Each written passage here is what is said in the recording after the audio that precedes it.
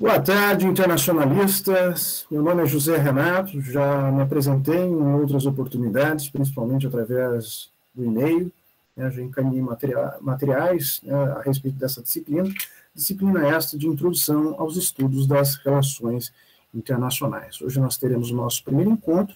Esta disciplina, felizmente ou infelizmente, será ministrada somente por EAD ao longo desses 15 encontros. A aula começa hoje no dia 14 de abril nós iremos tendo 15 encontros, se seguirmos rigorosamente os 15 encontros, encerraremos ao final de julho. Não será necessário termos os nossos encontros já no mês de agosto.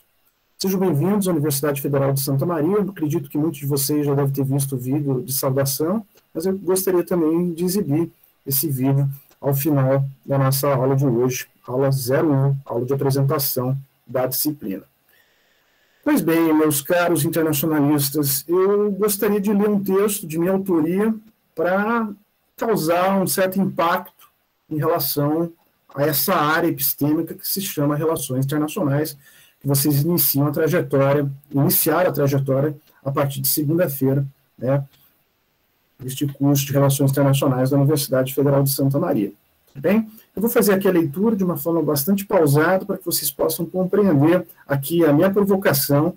Eu quero aqui estimular insights, quero estimular um debate, quero estimular também uma reflexão. Ok? Vamos lá, então. Iniciando, então, a leitura do texto. A guerra é um acontecimento social presente e persistente durante toda a história humana em praticamente todas as organizações sociais, ela foi praticada de alguma forma. Pesquisas interculturais sobre a guerra estimam que por volta de 95% de todas as sociedades conhecidas se engajaram ao menos alguma vez em algum tipo de guerra.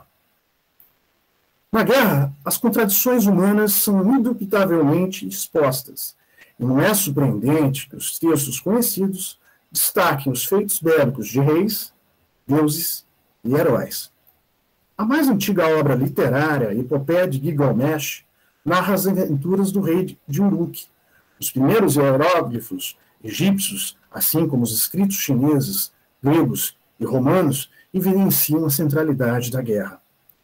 Relatos orais de grandes partes da sociedade sem escrita repetem este padrão, assim como no período paleolítico, ou em grupos indígenas nas, nas Américas, é possível encontrar diversas pinturas rupestres que retratam conflitos armados entre grupos inimigos. A guerra era vista por alguns dos primeiros filósofos gregos, os chamados pré-socráticos, como uma força ordenadora e criadora, parte inuletável do cotidiano e metáfora para se refletir ao constante fluxo temporal e sucessão de eventos que traz consigo conflito, como é o caso de Heráclito, que diz em um de seus fragmentos: Guerra como pai de todas as coisas, e de tudo é rei. Alguns torna deuses, ao restante dos homens os faz escravos, a outros faz livres. Heráclito 2001, página 44. Desde o surgimento das primeiras civilizações, as unidades políticas, sejam elas cidades-estados, monarquias, repúblicas ou grandes impérios se utilizaram das armas para dominar e conquistar os adversários, ou se defenderem deles. Os caros internacionalistas, a guerra está intimamente ligada à política, pois se de um lado a guerra é uma força extraordinariamente destrutiva do status quo, ao mesmo tempo ela é uma potência criadora na medida que ela é uma, não, não só um dos elementos, não só de conservação, mas também de construção de uma nova ordem política. No século XX, o advento das bombas atômicas, a destruição de proporções inéditas, lembre-se, Primeira Guerra Mundial, mais de 20 milhões de mortos, além das perdas materiais. A Segunda Guerra Mundial, com mais de 60 milhões de mortos, além das perdas materiais. Né? Então, causado por essas duas grandes guerras mundiais, tomaram a guerra, um evento no qual a destruição por ela causada pode ter consequências incalculáveis ao planeta, podendo mesmo destruir toda a civilização em overkill. Para finalizar, o nascimento da área de relações internacionais ocorre justamente após a Primeira Guerra, que era até então chamada pelos contemporâneos, aqueles que viveram a Primeira Guerra Mundial, de Grande Guerra. E o objetivo da nossa área, a área de relações internacionais, era evitar que novos conflitos bélicos, como a Primeira Guerra Mundial, ocorressem. Vejam, meus caros, a nossa área já fracassou no início do seu objetivo, que era a ocorrência de um novo conflito, como foi a Primeira Guerra Mundial. Tivemos a ocorrência da Segunda Guerra Mundial, que foi um conflito que teve maior número de perdas humanas, maior número de perdas materiais do que a própria Primeira Guerra Mundial. Mas, embora as relações internacionais, meus caros, sejam uma ciência da paz, o fenômeno da guerra sempre esteve intrinsecamente ligado à nossa área, à história humana, principalmente. A guerra é o tema mais estudado, o tema mais pesquisado, o tema mais debatido, o tema mais problematizado na nossa área de relações internacionais. Então, a pergunta que eu faço para começar a nossa aula após a, a leitura desse texto, e se vocês quiserem, eu posso deixar esse texto disponível para vocês.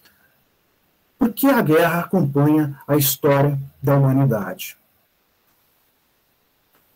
E aí, pessoal, para ilustrar ainda mais a leitura desse texto, gostaria aqui de ressaltar que no período de entre 1480 e 1700, as principais potências europeias estiveram, em grande maioria do tempo, envolvidas em algum conflito.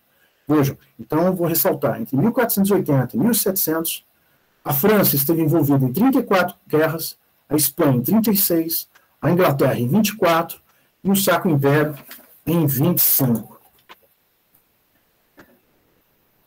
Meus caros internacionalistas, depois da leitura desse texto, depois dessa provocação, eu gostaria aqui de continuar com essa pergunta, que vai ser a pergunta que vai praticamente ser o, o tema, um dos temas da nossa disciplina de introdução aos estudos das relações internacionais, por que, que a guerra acompanha a história da humanidade?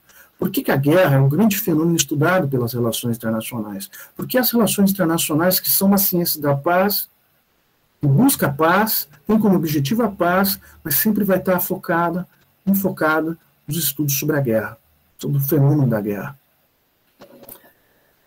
Gostaria que vocês prestassem atenção no que eu vou acabar de dizer a partir de agora. Geopolíticos norte-americanos acreditam que a projeção que os geopolíticos norte-americanos fazem do mundo daqui a, daqui a 25 anos, eles acreditam que vai ser de uma unipolaridade consolidada onde os Estados Unidos serão, manterão ainda a liderança, uma liderança hegemônica no mundo, e isso por cinco razões. A primeira razão para os Estados Unidos continuarem nessa liderança, nesse poder hegemônico, é em relação principalmente ao seu poder incontestável em termos militares. Vocês acompanharem estudos é, a respeito dos gastos militares dos americanos em 2019, 2020, 2021, é o país o Estado que mais gasta, tem o orçamento que mais gasta é, do ponto de vista de armas e defesa. Então, o primeiro elemento que os geopolíticos norte-americanos apontam que os Estados Unidos se manteriam como hegemônicos ainda no mundo, num período de 25 anos, o primeiro aspecto é relativo à questão é, do poder militar, um poder militar incontestável, sem comparação com outros países, com outras nações. O segundo aspecto é relativo à moeda norte-americana, o dólar. Na projeção desses geopolíticos norte-americanos, os norte-americanos, é, o dólar ainda vai, tornar, vai continuar sendo a moeda mais importante do mundo, não só no comércio internacional, mas a mais utilizada em todo o mundo. Uma moeda praticamente, entre aspas, corrente de todo mundo. O terceiro aspecto que eu acho muito importante ressaltar para vocês, que dizem os geopolíticos norte-americanos dessa manutenção dos Estados Unidos como a principal superpotência, tendo um, um protagonismo no cenário internacional, é relativo à influência que os Estados Unidos têm perante as instituições internacionais, a ONU, a OMC, a Organização Mundial da Saúde, entre outras instituições internacionais que os Estados Unidos ainda não teriam essa influência principalmente nos bastidores em relação a essas instituições internacionais. Então, só ressaltando os, cinco, os, os três pontos que eu já destaquei. Primeiro, o poder militar. Segundo ponto, a questão do poder econômico, principalmente em relação ao dólar. Terceiro aspecto, relativo, então, a essa capacidade de influência nas instituições internacionais. O quarto aspecto, meus caros, a questão da, da língua inglesa. A língua inglesa, que é praticamente também, quase, vamos dizer, entre aspas, uma segunda língua utilizada em todo o mundo. A força da língua inglesa, a força da língua inglesa na, na música, a força da da música inglesa é, da, não só da música inglesa, do cinema hollywoodiano, entre outras formas dessa indústria cultural norte-americana está se projetando no mundo e ainda mantendo-se como uma grande influência cultural no mundo. É o que os autores gostam de chamar de soft power. Deixa eu só ver sua pergunta aqui que eu acho importante. Yuri, vamos lá. Ah, eu, eu posso depois passar é, toda essa lista de autores desses geopolíticos norte-americanos, mas a gente, eu posso já aqui citar pelo menos um, para vocês já anotarem, o Joseph Nye, que é um dos autores é, do livro Cooperação e Conflito nas Relações Internacionais. Ah, meus caros, eu estou indo muito rápido, vocês estão entendendo? Está tudo bem? Fernando, Yuri. Tranquilo, pessoal? Está interessante ou não? Maravilha, obrigado. Vamos lá, então, obrigado. Então, é, falei da questão da força militar, falei da, da questão do dólar, né, de ser a moeda mais importante. Terceiro aspecto, a capacidade de influenciar instituições internacionais. O quarto aspecto, então, relativo a esse soft power, a indústria cultural, a música, a arte, é, vários elementos que os Estados Unidos influenciam o resto do mundo. Ou seja, aquele processo que nos anos 60, 70, 80 diziam a ocidentalização do mundo, que alguns autores vão dizer, não, não é ocidentalização do mundo, não se trata a respeito disso. Na verdade, o que está acontecendo no resto do mundo é uma americanização do mundo. Civilizações orientais, civilizações milenares, que são influenciadas pela cultura norte-americana, pela cultura estadunidense. Né? O Japão, a China, a Índia, que são civilizações orientais, civilizações milenares, com histórias muito antigas, entrando em choque com essa cultura norte-americana e sendo influenciados pela essa cultura norte-americana. Então, esse seria o quarto elemento dessa influência do ponto de vista do soft power, do poder cultural norte-americano no resto do mundo, que manteria ainda essa liderança, que manteria essa hegemonia dos Estados Unidos perante o mundo. Né? E o quinto cenário que eu acho muito interessante destacar para vocês os grandes cérebros do mundo estão localizados onde? Estão concentrados onde? Nas principais instituições de pesquisa, de educação norte-americana. Harvard, Yale, Princeton, entre outras instituições norte-americanas, que são as mais bem conceituadas, com o maior corpo de professores qualificados, discentes qualificados, e as grandes mentes da China, da Índia, da Inglaterra, de outras partes do mundo que vão aos Estados Unidos, porque lá é onde está a grande produção acadêmica, a grande produção de pesquisa do mundo. Os principais institu institutos de pesquisa que apontam quais são as principais universidades no mundo as principais universidades no mundo estão localizadas nos Estados Unidos. Então, essa questão dos grandes cérebros estarem nos Estados Unidos seria um quinto elemento e que reforçaria na concepção desses geopolíticos norte-americanos a manutenção dos Estados Unidos como a grande potência ou a superpotência ainda num período de 25 anos. Yuri internacionalistas, nessa concepção, nesse cenário projetado daqui a 25 anos, então, seria mais ou menos, eles afirmam que seria uma, de uma unipolaridade consolidada. De uma unipolaridade consolidada. Em que os Estados Unidos, então, exerceriam essa hegemonia, essa força perante o mundo, através dos instrumentos de hard power, é, normalmente caracterizado como instrumentos de força, de pressão, de coerção, e principalmente instrumentos também de soft power, que é o poder suave, é o poder de cooptação, é o poder de sedução. É mais ou menos aquela frase que vocês devem se lembrar, provavelmente vocês já ouviram, né, do, do Trotsky, que é conquistar corações e mentes. Por que, que é mais fácil conquistar corações e mentes? Porque a capacidade de resistência quando você conquista corações e mentes é menor. No hard power, que você tem que exercer a coerção, a violência, o uso da força, há resistência. Haverá resistência. No soft power, não. Você tenta dar um poder brando, um poder suave, um poder que você tenta seduzir coração e mente. O Joseph Nye, que foi apresentado agora há pouco pelo Yuri, acabei de apresentar para vocês todos os internacionalistas, ele trouxe um novo conceito, que é uma soma do hard com soft power, que na verdade seria é, o chamado smart power. Que seria essa nova forma dos Estados Unidos tentar manter e consolidar o seu poder. O que é o smart power? É o uso adequado e somado do hard e do soft power. Não é hard nem é soft power. Na verdade, é um uso inteligente dessas duas formas de se exercer poder. De se exercer poder. Por isso, seria esse smart power, seria uma forma muito melhor do que o hard e o soft power, para que então as demais nações, os demais países entenderem que os Estados Unidos são vitais né, para o sistema internacional. É claro que isso seria uma visão dos geopolíticos norte-americanos nessa projeção do mundo daqui a 25 anos. Tudo bem? Dito isso, vamos então aos geopolíticos russos. O que, que diz os geopolíticos russos numa projeção num período de 25 anos também? Na visão dos russos, eles acreditam que haverá uma terceira guerra mundial. Uma guerra mais brutal, mais violenta, mais sangrenta, com mais perdas humanas, com mais perdas materiais do que foi a Segunda Guerra Mundial. E nessa visão dos geopolíticos russos, nessa Terceira Guerra Mundial, que haveria um choque entre dois grupos constituídos. O grupo formado pelos Estados Unidos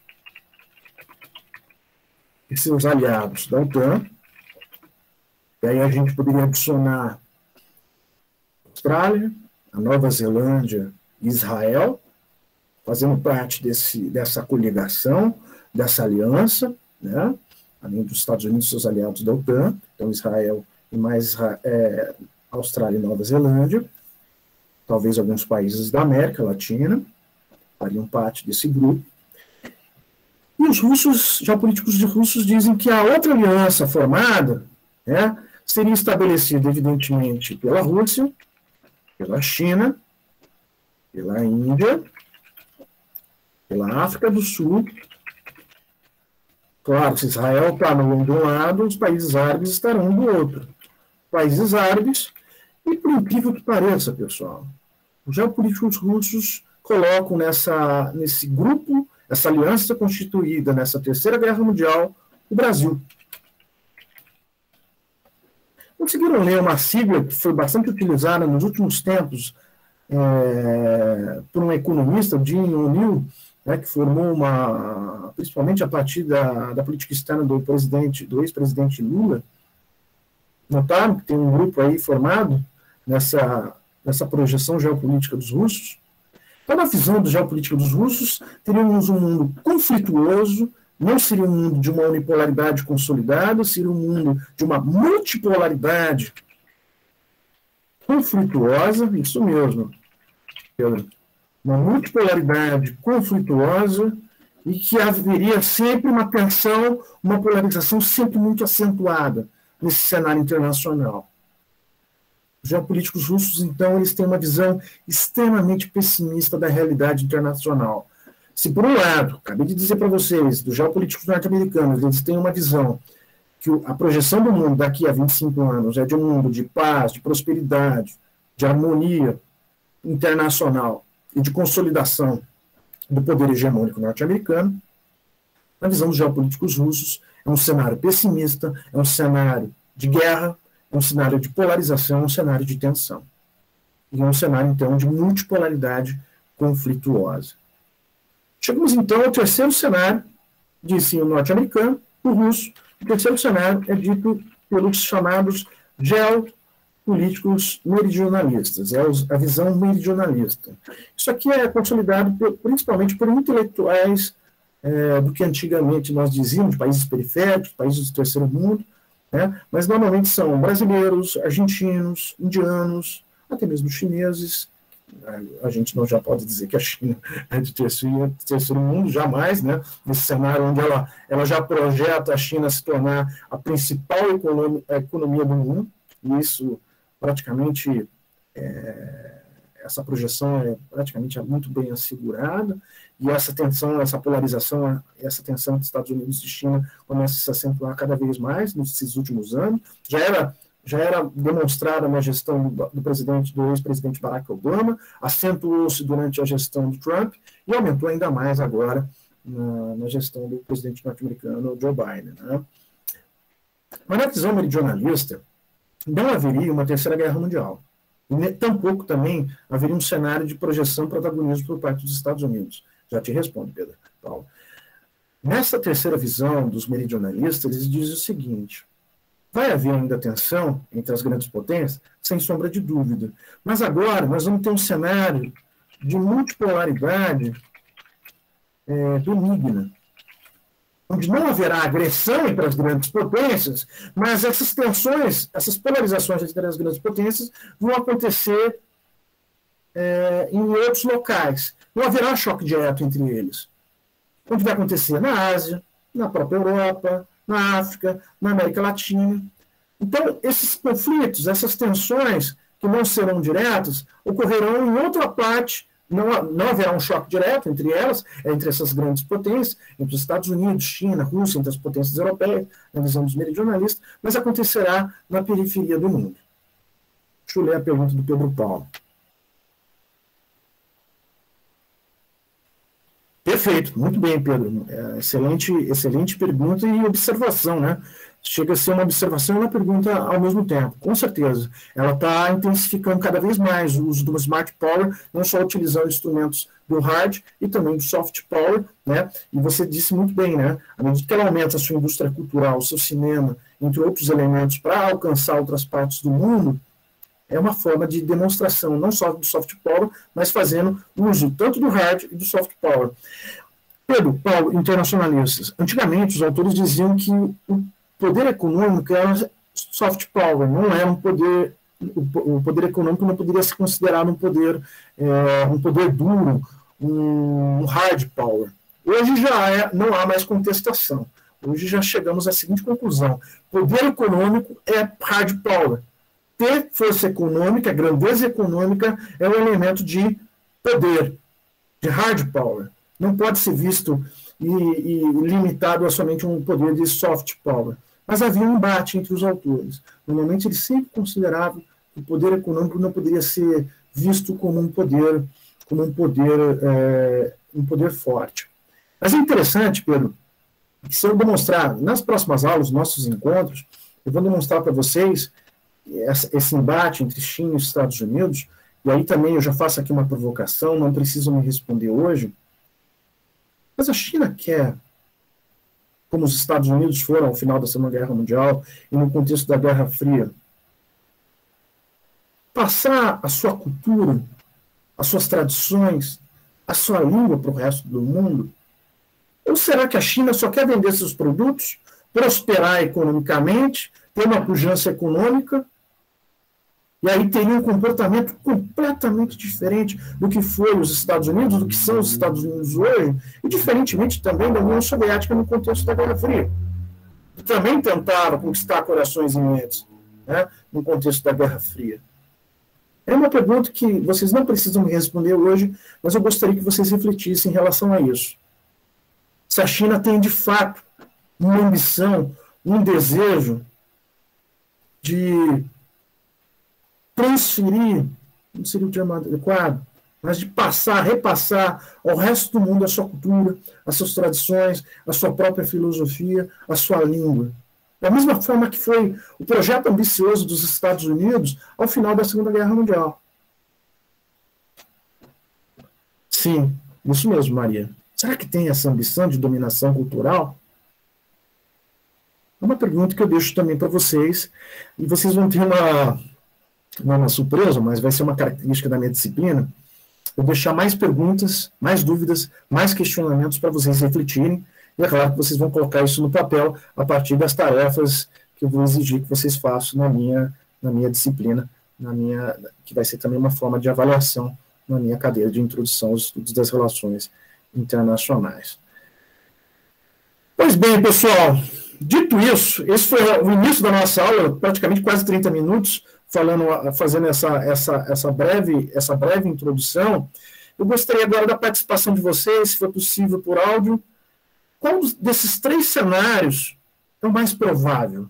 E qual desses três, desses três cenários que a gente pode refutar de uma forma bastante categórica? Esse cenário não vai acontecer de forma alguma. Parece que o Pedro já se apresentou com a, com a primeira pessoa a falar. Pedro, por favor, pode abrir o seu áudio e fica à vontade. Não, não vale a pena ler ali que o Yuri colocou primeiro, professor. Que ele tá colocou bom. antes de mim. Segura aí, então. Segura aí, Pedro, então. Vamos lá.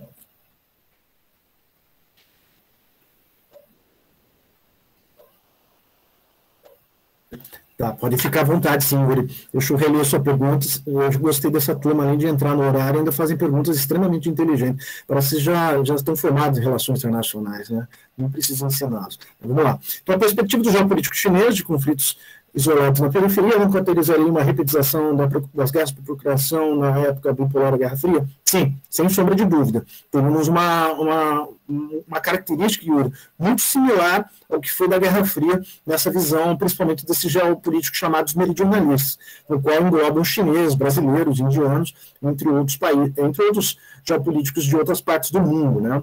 É, nessa, nessa visão. Nós teríamos um quadro muito parecido da, do cenário da Guerra Fria, mas qual que seria a diferença, Yuri?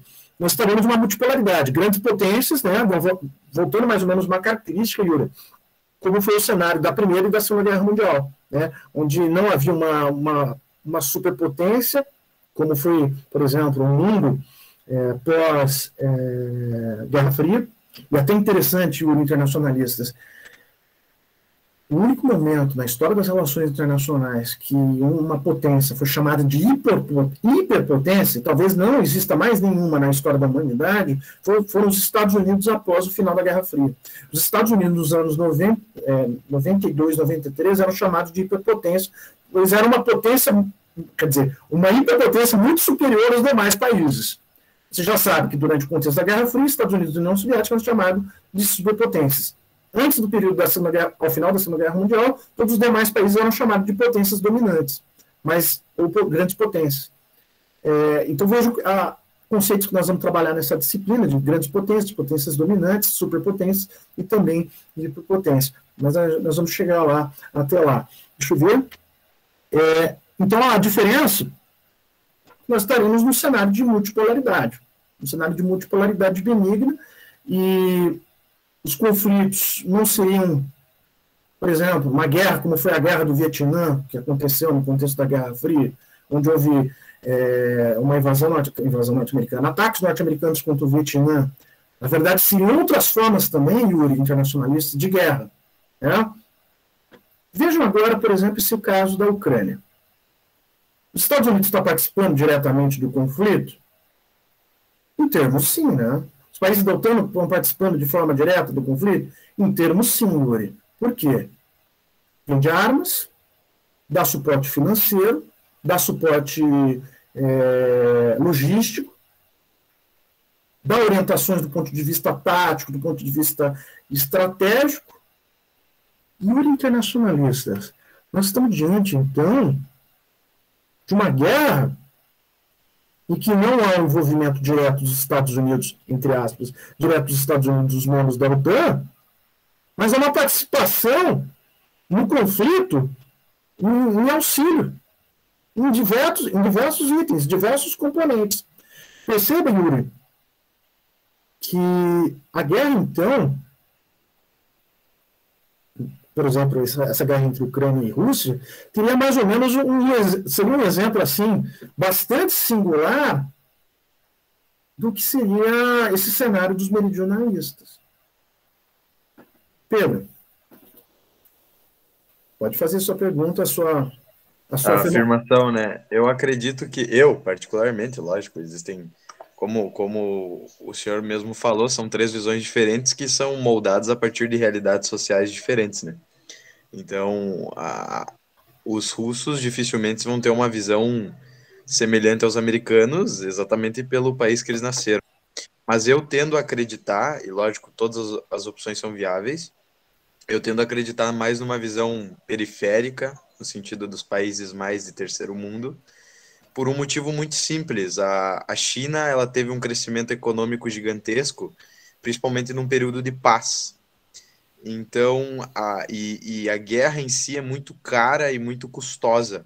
Então, por mais que existam, e é o que aconteceu desde o final da Segunda Guerra, essas guerras menores de procuração, a, não se teve mais nenhum conflito grande, porque isso impediria, por exemplo, um crescimento econômico ou um, um avanço tecnológico nas áreas necessárias, né? Então, eu acredito que a tendência é tu ter esses conflitos menores, como, por exemplo, a China realizando conflito com Taiwan, fazendo aquelas pressõezinhas ali, o envolvimento indireto, mas direto dos Estados Unidos, do Japão, mas nunca a níveis maiores que causem esse caos, como os russos falaram. E eu, particularmente, entendo que a visão americana também não seja adequada, porque assim como os impérios eles crescem, eles caem. Então, o dólar já teve uma desvalorização muito grande, novas moedas surgem. Uh, a gente não pode. Uh, tem uma frase sobre isso, né? Existe a marcha inexorável do tempo. A gente não pode desconsiderar o que o tempo faz com as mudanças que o universo traz, né?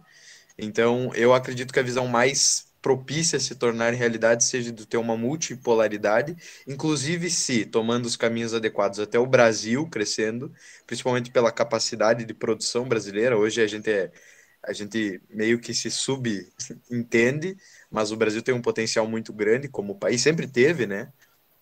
E então talvez seja uma das possibilidades, na minha visão, a possibilidade multipolar talvez seja mais adequada para os próximos anos. Maravilha, Pedro. Então, na sua visão também é, seria um cenário de multipolaridade, como você acabou de dizer, e provavelmente então você aponta o cenário meridionalista como mais, mais adequado com, com tudo que está se construindo na, na atualidade. Perfeito. Deixa eu ver a Emily aqui. Obrigado, Pedro, pela, pela contribuição. Fora a evolução dos armamentos desde a Segunda Guerra, por incrível que pareça, os líderes não querem destruir uma terceira guerra, mas sim ter mais poder. Com certeza, né? E há formas né, de evitar conflitos como, como uma terceira guerra mundial, né? Outras formas de fazer uma guerra não direta, evitando que, que haja envolvimento de, de outras potências militares e principalmente nucleares, né, Emily? Então, muito bem destacado por ti esse, esse aspecto. Alguém gostaria de, de fazer alguma algum apontamento, alguma observação? Davi, por favor, fica, fica, fica à disposição, por favor. À vontade, Davi. É, tá dando para me ouvir? Tá, sim, perfeitamente. É, bom, é, fazendo coro aos pontos que o Pedro e o Yuri salientaram, é, me parece que esse, essa possibilidade da, de, da existência de várias potências é, coexistindo e não da hegemonia é, de uma sobre as outras, como os geopolíticos americanos apontam, é, parece ser o cenário mais provável, porque seria otimista demais, de um ponto de vista favorecendo os Estados Unidos, é, acreditar que eles atingiriam essa hegemonia suprema. Eu acho que é de um, um pessimismo é, quase descabido acreditar que existe realmente a possibilidade de, uma terceira guerra mundial Contudo, a gente é, está presenciando agora né, a, a, situação de guerra na Ucrânia e houve uma, um aumento muito grande na, nas tensões é, entre essas superpotências que possuem é, armamentos nucleares e que, consequentemente, gera é, esse medo de um possível conflito é, de maior escala mas, ao mesmo tempo, essa destruição em massa seria é, extremamente prejudicial, como a Emily falou. Portanto, essa é, visão de que pode sim haver outras formas de conflito que não sejam um conflito direto e de uma manutenção é, é, desses conflitos, tensões e negociações entre diversas potências, principalmente os países emergentes, como o Brasil e países é, do, da África subsaariana, que tem um contingente é, populacional em potencial muito grande e que por muitas vezes são desconsiderados, mas no longo prazo, esse contingente populacional é, aliado a boas estratégias de desenvolvimento pode levar ao surgimento de novas potências que vão sim alterar essa estrutura do balanço de poder nas políticas internacionais. Esse é o ponto que eu queria acrescentar. Maravilha, Davi. Muito bem, muito bem apontado. Adorei a sua, a sua fala. Gostei muito do Pedro, da Emily, Yuri. Obrigado pelas contribuições. Acho que é nesse sentido né, que, que a nossa aula tem que caminhar. E gostei muito da, da participação de vocês. É, o cenário meridionalista parece o cenário mais provável para esse mundo daqui a 25 anos. É o cenário que a gente parece ter mais subsídios teóricos, parece que é, são os elementos que categóricos que nós temos mais à vista, né, do que um cenário tão otimista de uma manutenção ou a tentativa de uma manutenção de um poder norte-americano, principalmente através daqueles cinco elementos que eu havia destacado para vocês, e do cenário russo, que é um cenário extremamente pessimista, né, de uma guerra generalizada, de uma grande guerra mundial, e que seria extremamente é, prejudicial para não só para as populações humanas em todo o globo, mas principalmente para os países diretamente envolvidos. É, Pedro, já passo a palavra para ti. Vamos ler aqui o comentário da Isabela. Sim, com certeza, Isabela, concordo contigo. Né?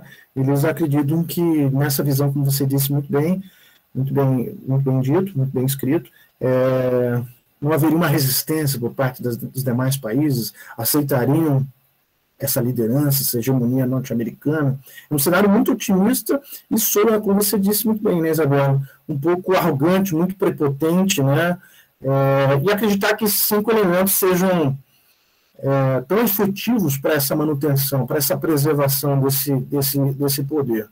Mas é bem interessante hoje a gente fazer essa reflexão. Gostei bastante da participação de vocês. Pedro Paulo, por favor com a palavra.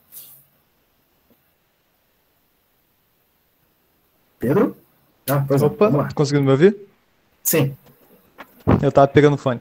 É, sobre a visão dos geopolíticos americanos, concordando completamente com a Isabela, eu acho que é muita prepotência, principalmente para os Estados Unidos, que se mostravam tão grandes e hoje em dia estão se mostrando tão pequenos para o mundo. E quanto à visão dos regionalistas de multipolaridade, eu concordo com todo mundo que acho que seja, concordo com o senhor também que seja a mais provável, mas eu acho a palavra benigna muito otimista para uma espécie como a humana que, sabe, desde sempre a gente faz guerras. O uhum. primeiro livro, a Epopeia de Gilgamesh, conta sobre uma guerra. A gente aprendeu a matar antes de aprender a, aprender a escrever. Então, assim, eu não acredito muito nesse otimismo todo. Infelizmente, eu acho que os russos, talvez não terceira guerra no sentido que a gente já viu, mas talvez em outro modo, talvez ela seja provável também. Maravilha. Sim, Pedro, por favor, desculpa. Pedro? Não, então, é porque a, essa visão de que a raça humana vai parar com as guerras, a gente já acreditava nisso no início dos anos 2000. E aí a gente teve a guerra da Geórgia, teve agora a guerra da Ucrânia, teve a guerra da Síria, teve tantas inúmeras guerras, provavelmente vai ter uma guerra na Etiópia daqui a alguns anos, enfim. Em vários países vão ter guerras e eu não acredito que isso vai parar, infelizmente. Maravilha, Pedro. Gostei da sua, da sua fala. Todas as falas foram muito, muito corretas, muito adequadas. Eu agradeço demais. E, ah, Pedro, e internacionalistas, vocês querem depois o texto que eu fiz a leitura? Depois disponível? Deixa eu ver aqui os comentários. Maravilha, sim, posso encaminhar sim. Gostei do Pedro também já fazendo, fazendo uso daqui das, também do texto da questão da guerra, que é uma, uma questão que a gente vai refletir bastante nessa, nessa disciplina. Deixa eu ver aqui quem as, as observações. Ana. Muito bem, exatamente concordo com o Pedro Paulo. Acredito que a guerra será muito mais ideológica que um choque propriamente dito, mas a guerra física de momento não vai deixar de existir. Muito bem dito também, Ana. Correto, isso mesmo. O João Vitor concorda com o Davi, eu acho que a África é um continente relativamente inexplorado, que tem esse grande crescimento populacional, acho que lá poderia acontecer um novo imperialismo, dessa vez entre Estados Unidos e China. Na verdade, né, João, já acontece a busca pelos recursos naturais, as matérias-primas entre as grandes potências no continente africano, né? não só Estados Unidos, Rússia, China, Israel, né, como outros países europeus que ainda tentam manter uma certa, um certo prestígio, embora não tenham, né, naquelas regiões onde eles, eles praticamente dominaram ao longo do século XIX, e que foi o grande zênite europeu né, naquele, naquele momento, do imperialismo europeu na África. Deixa eu ver aqui, Maria, sim, vocês querem os textos, então depois eu deixo disponível, então, esse texto que eu fiz a leitura da aula de hoje. Pessoal, adorei a participação de vocês, deixa eu ver aqui o Pedro, vamos passar para o plano de ensino, né? Professor, existe a possibilidade de que, ao invés de uma dominação cada vez maior da China, comece a ocorrer o contrário, como, por exemplo, a emancipação de Hong Kong e Macau, que são áreas muito prósperas e pertencentes ao governo chinês. É, isso também é um cenário, assim, que eu acho que a, o poder chinês, cada vez econômico, é, é incontestável. Os gastos chineses no, no poder militar estão se tornando cada vez maiores. A marinha chinesa está se tornando também cada vez mais, mais fortalecida. Estados Unidos, desde o governo do Barack Obama, começou a, a não prestar, não prestar atenção, mas deixou de, de ser foco geoestratégico, geopolítico, a questão do Oriente Médio, mas já desde o governo do Barack Obama dos Estados Unidos começou a se preocupar com a questão do Pacífico. Então, a quinta frota norte-americana cada vez mais está muito atenta ao que está acontecendo no Pacífico e cada vez mais os Estados Unidos têm tentado aproximar não somente do Japão, que já é um parceiro estratégico, mas de outros países também na, na Ásia, né? E aí é até interessante também essa rivalidade China e Japão novamente ganhando novos, novos contornos agora no século, no século XXI. E a Isabela, sem contar com o grande investimento que a China está fazendo na África de uns anos para cá. Sim, né, Isabela, não só na África, mas também aqui na América Latina, comprando terras no Paraguai e, e tendo cada vez mais uma, uma, uma, postura cada vez mais incisiva, muito mais direta, né, aqui na América Latina, na África, entre outras regiões. E é engraçado, né, como que ainda aquela, aquele sentimento em relação ao Japão da Segunda Guerra Mundial, vários países asiáticos que têm uma maior aceitação da China do que o próprio Japão, né? Então isso também é um outro aspecto muito importante. Deixa eu ver, Pedro, é, a construção da nova capital do Egito, sim, com certeza, Pedro. E, e aí, é claro, também, é, essa rivalidade que se torna cada vez maior, né, Lucas, entre China e Estados Unidos. E os Estados Unidos sempre teve na sua política externa demonizar os seus inimigos, né, os seus adversários, ou possíveis adversários. A gente pode pensar na história norte-americana, é, os índios, durante o período da própria do próprio desenvolvimento da história dos Estados Unidos, e aí a própria construção do cinema norte-americano, me engano, hollywoodiano, temos índios na própria consolidação do território interno norte-americano. Depois, é, isso foi em relação aos alemães na Segunda Guerra Mundial. Vence os alemães na Segunda Guerra Mundial, o nazismo, que era considerado o grande, é, grande flagelo do mal, a exposição do mal. Depois se torna a União Soviética o mal, depois os terroristas. É, vão se, terroristas do Oriente Médio, né, vão se tornar os grandes inimigos dos Estados Unidos, agora parece que o alvo está se modificando. Né? Praticamente, agora a China vai se tornar é, um, um, novo inimigo dos Estados Unidos. É, além do, é isso, sem dúvida também do, do Japão. Pessoal, vou passar aqui para o plano de ensino, gostando muito da participação de vocês. Vocês estão bastante, bastante ativos e propositivos. Eu gosto muito dessa, dessa postura. Vamos lá, então, eu vou apresentar aqui o um plano de ensino, tá bom, pessoal? Não está tão bonitinho, queria ter feito no Prezi, ficou um pouco simples, mas vamos lá. Deixa eu ver aqui, onde que está. Tá Daqui a pouco já passo aqui. Só um minutinho, pessoal.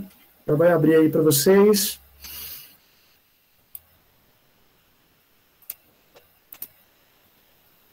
Já estão conseguindo visualizar? Sim? Maravilha, então. Vamos lá. Então, introdução ao estudo das relações internacionais, o nome da disciplina. Uma disciplina de quatro créditos, código R1009. Então, disciplina Introdução ao Estudo das Relações Internacionais, você já me conhece. José Renato Ferraz de Silveira, meu nome.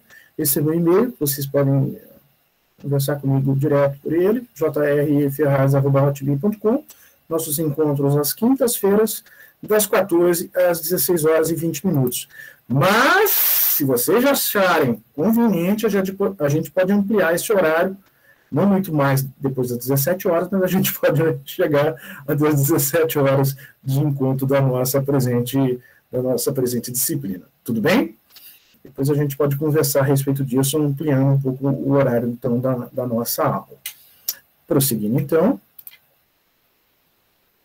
o objetivo dessa disciplina, de Introdução ao Estudo das Relações Internacionais, estar familiarizado com o estado da arte das relações internacionais, examinando seus conceitos. Então, nós vamos ver conceito de Estado, conceito de sistema internacional, esse que acabei agora de dizer, poder hegemônico, é, hegemonia, o próprio conceito de hegemonia, que é um termo bastante interessante para gente, a gente discutir, a questão de polaridade, polarização, multipolaridade, unipolaridade, bipolaridade.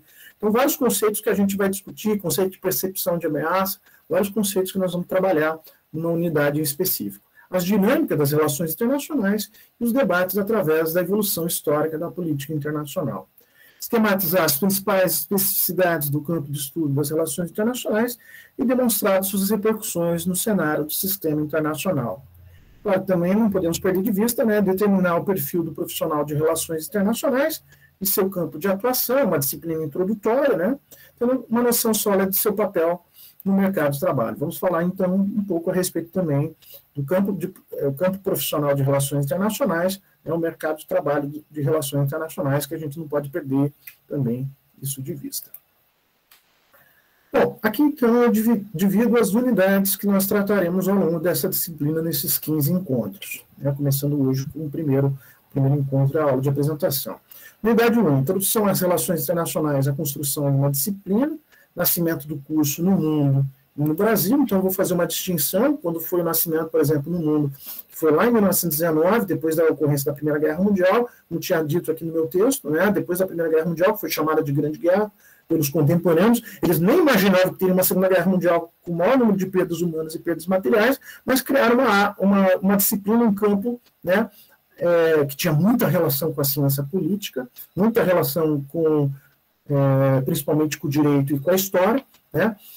E é interessante que surge lá em Gales, né, no país de Gales, né, a primeira cátedra de relações internacionais tratando a respeito desse nosso campo, dessa nossa área epistêmica.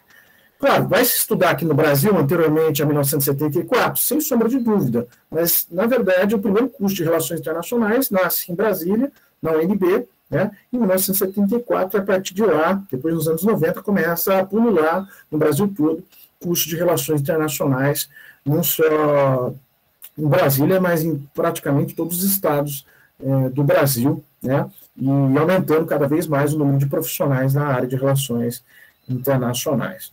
O ponto 2, 1.2, campo de estudo, debates metodológicos, e o ponto 3, que é bastante interessante também a gente tratar, profissional de RI, e o campo de trabalho. Eu até pretendo também, nesse 1.3, dar algumas dicas, algumas sugestões em relação ao andamento, à trajetória de vocês no curso de Relações Internacionais, algumas dicas que você, eu acho conveniente vocês seguirem, mas, enfim, cada um segue o caminho. Né? É, a unidade 2, Relações Internacionais e sua interdisciplinaridade. Interessante essa unidade 2, que nós vamos falar as conexões que ocorrem entre relações internacionais e outros campos, né? A ciência política, a economia, a sociologia, a história e o direito. Claro que o campo das relações internacionais é um campo muito multidisciplinar, né? interdisciplinar. Ele está em conexão com diversas áreas das ciências sociais e, e das ciências humanas. Até nos Estados Unidos, principalmente nos Estados Unidos, a ciência política tentou se apropriar do campo das relações internacionais. Eu até digo para vocês que há uma relação incestuosa nos Estados Unidos entre relações internacionais e ciência política. Eu digo uma relação incestuosa que seria, então, ciências gêmeas, né? E há uma tentativa, de fato, de uma apropriação da ciência política sobre o campo das relações internacionais. Vamos, então, fazer um debate nesse sentido, demonstrando cada vez mais essa conexão entre RI e as demais áreas é, das ciências sociais, das ciências humanas. Né? A unidade 3, que eu acho que é uma das, uma das unidades que eu mais gosto nessa disciplina, é relativa aos conceitos. Praticamente aqui eu acho que nós teremos vários debates, várias discussões bastante pertinentes em relação aos conceitos clássicos, né, e conceitos contemporâneos em relação, em relação às relações internacionais. Então, unidade, unidade 3, né? Então, conceitos clássicos, conceitos contemporâneos. Unidade 4, o ambiente internacional e suas características. Vamos falar, então, sobre sistema internacional, sobre atores internacionais. A gente já pode utilizar aqui uma terminologia da professora Pessiquilo, né? Cristina Soriano Pessiquilo, uma das grandes é, autoras no Brasil de relações internacionais que ela divide em três grupos, né? Os estados, que de acordo com a visão realista são os principais atores, né? as forças transnacionais e, é claro, as OEGs, que seriam as organizações intergovernamentais, né? que seriam, então, divididas em três grupos, né? É, a, relativo, então, aos atores internacionais e a questão do meio internacional. É, vejo que a unidade 3 e a unidade 4, ela tem uma característica, as duas unidades têm características de serem mais conceituais, né? Então, nós teremos, nesse momento, uma, aulas mais de caráter conceitual, mas eu vou tentar, na medida do possível, tornar os nossos encontros também bastante interessantes nesse sentido. A unidade 5 aqui vai ser muito interessante, nós vamos fazer aqui um debate, e eu vou apresentar as principais teorias das relações internacionais, né? realismo, idealismo liberalismo, e marxismo. Claro, pessoal, vocês terão, ao longo da trajetória no curso de Relações Internacionais, três cadeiras de teorias, né? Teoria das Relações Internacionais A, Teoria das Relações Internacionais B e Teoria das Relações Internacionais C. Né? Na A, vocês discutirão as principais correntes teóricas, que seria o primeiro, segundo e terceiro debate das relações internacionais. Nos, na Teoria das Relações Internacionais B, o quarto debate da, das teorias é, que seriam as, as novas teorias, as teorias é, pós-positivistas, né, como elas são chamadas, e que ocorrem, então, no quarto debate das relações internacionais, e a teoria das relações internacionais ser que, de fato, o professor Igor Castellano, que leciona essa, essa disciplina, essa cadeira, ele promove ali uma revisão de todas as teorias que foram discutidas nas duas teorias anteriores, mas também vocês fazerem exercícios, reflexões analíticas do uso dessas teorias para fe novos fenômenos das relações internacionais. Quais teorias são as mais adequadas para entender os fenômenos, os novos fenômenos das relações internacionais? Então, a unidade 5, vai, nós vamos ter uma introdução a respeito dessas, dessas teorias. Tudo bem? Uh, a unidade 6, debates contemporâneos das relações internacionais, então algumas temáticas nós podemos aqui discutir a questão da globalização, dos direitos humanos, do meio ambiente, conflitos internacionais e processos de integração. Então, é tornando a disciplina um pouco mais atualizada, debatendo temas dessa natureza, dessa, desses diversos temas né, muito interessantes que nós temos na nossa área de relações internacionais. E, por fim, a unidade 7, Brasil e as relações internacionais, vamos discutir a questão do Brasil e as relações exteriores, né? Constituição Federal de 88, né, que tem no seu artigo 4 lá, quando diz o seguinte, a República Federativa do Brasil rege nas suas relações internacionais pelos seguintes princípios. E aí vem lá todos os incisos, incisos e o parágrafo único. Vamos tentar fazer um exercício de tentar memorizar né, todos os incisos e também o parágrafo único. Pilares da política externa brasileira, vamos ver esses incisos e trabalhar em cima desses incisos, e o Brasil e seu papel no sistema internacional contemporâneo. E aí é interessante que a gente faça também análise do comportamento do Brasil em diversos fenômenos nesses últimos anos, né, nessa última década, né, a respeito de como foi o comportamento do Brasil em relação a, a esses temas. Né. Esses, então, seria a unidade 7, a gente encerra essa disciplina de introdução ao estudo das relações internacionais. Bom, a bibliografia tem, tem, que já está no plano de ensino, são essas que estão são apresentadas. Eu tenho um livro que eu destaco, vou apresentar para vocês, que eu tenho aqui, disponível. É, o terceiro ali, do Robert Jackson e George Sorensen, que é esse aqui. Acredito que vocês vão utilizar esse livro também na disciplina de Teoria das Relações Internacionais IB. Eu tenho esse livro. Nós vamos utilizar bastante nessa cadeira, nessa disciplina. E o último livro ali, ó, Introdução às Relações Internacionais, que é o livro da Cristina Soriano Pessiquino, né? que eu tenho ele aqui, não o livro impresso, mas eu tive que fazer uma, uma cópia dele. Né? Então, esse é o livro da Cristina Soriano Pessiquino, que também vai ser bastante utilizado. Vou utilizar esse livro aqui também, que é o Dicionário de Relações Internacionais, para a gente trabalhar a respeito dos conceitos. Então, esse livrinho aqui foi escrito por três autores brasileiros que é Introdução às Relações Internacionais, Teoria e História, de Jones Val Brito Gonçalves, Thiago Ivaldão e Dario Alberto de Andrade Filho, que são assessores do Legislativo. Né? Bom, esses seriam os livros que nós, que nós utilizaremos, entre outros, depois eu vou citando para vocês. Muitos deles, Marina, muitos deles têm disponíveis na, na nossa biblioteca da nossa universidade.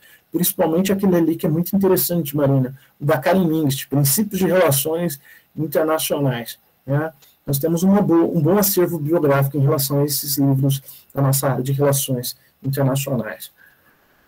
E aqui, os livros é, complementares, né, eu destaco o livro do Joseph Nye, Cooperação e Conflito nas Relações Internacionais, nós vamos utilizar nessa cadeira, mas caso eu for o professor da disciplina de História das Relações Internacionais A e B, nós vamos utilizar muito esse livro, Cooperação e Conflito nas Relações Internacionais, uma leitura essencial para entender as questões, principais questões da política mundial.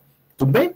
Entre outros livros, né, mas esses que estão constando no plano de ensino, mas eu utilizarei também outras obras que eu, na medida do possível, vou estarei sempre é, citando quem são, quais são esses autores. Muito bem. Bom, vamos ver aqui o cronograma da nossa disciplina, como que serão os nossos encontros. Estamos tendo hoje nossa, nossa primeira aula, dia 14 de abril, primeira aula, unidade 1. Semana que vem, infelizmente, nós teremos o feriado, dia 21 de abril, né, mas retomamos a aula no dia 28 de abril com a segunda aula, que é a unidade 1. Né? No dia 5 de maio, teremos a terceira aula, ainda a unidade 1. No dia 12, 19 e 26 de maio, 12 e 19 a unidade 2, então dois encontros para a unidade 2, e no dia 26 de maio, a unidade 3, a, a nossa sexta aula. Vejam, quatro aulas durante o mês de maio. Né?